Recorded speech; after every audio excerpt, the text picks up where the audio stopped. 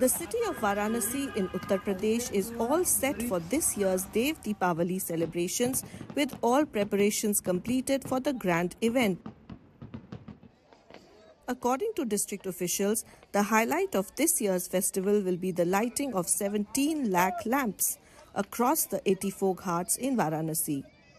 The Uttar Pradesh administration has planned to light 12 lakh lamps while various other organizations will contribute an additional 5 lakh lamps.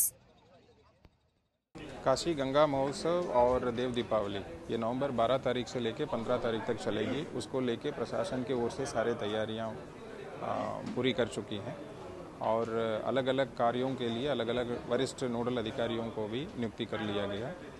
तो मंडलायुक्त महोदय के स्तर से और मेरे स्तर से भी इसकी कर चुके हैं।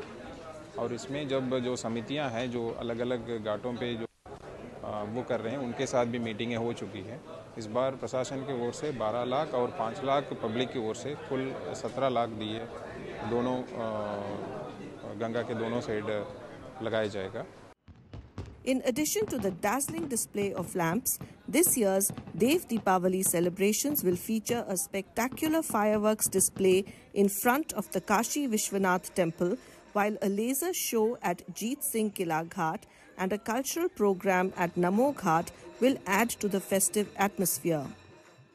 और सांस्कृतिक कार्यक्रम इस बार राजघाट के में भी होगी और मेन कार्यक्रम असी घाट में होगी।